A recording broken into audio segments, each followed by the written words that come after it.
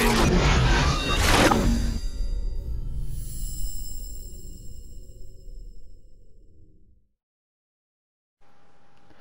guys and welcome, I'm Nossip.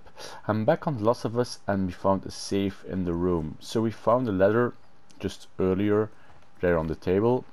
I'm gonna show it to you. It says the combination is still set to our wedding date 30 years ago. So let us check the calendar.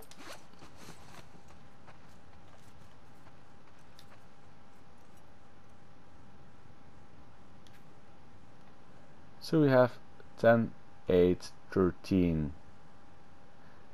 So it makes 83. 10, 8, 83. Let's check it out.